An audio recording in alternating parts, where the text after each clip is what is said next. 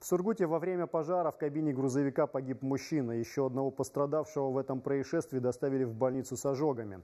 В Югре с начала ноября зарегистрировали 17 автопожаров. За прошлую зиму с ноября по март спасатели насчитали 150 сгоревших транспортных средств.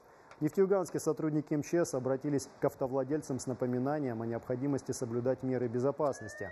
В городе только в этом году сгорело 36 автомобилей.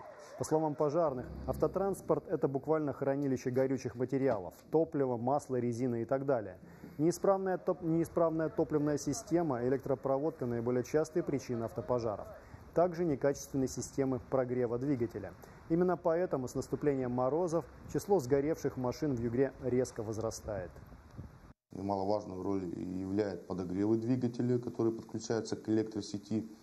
Э, также у нас при эксплуатации автомобиля утепление моторного отсека осуществляется горючими материалами. Необходимо своевременно проводить э, техническое обслуживание автомобиля, э, своевременно проводить регламентные работы на установленном оборудовании, это как газобаллонное оборудование, электроподогревы, автозапускные устройства.